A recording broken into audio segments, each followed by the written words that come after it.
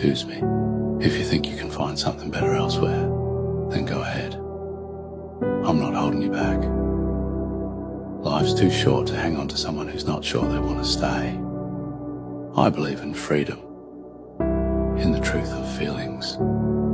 If you must stay, let it be, because your heart tells you this is where you belong, not because I asked you to. I want to be a choice, not a default option. I deserve someone who sees my value, who understands what I bring to their life. I don't want someone who stays with me out of fear of loneliness or out of habit. I want someone who stays because they can't imagine life without me.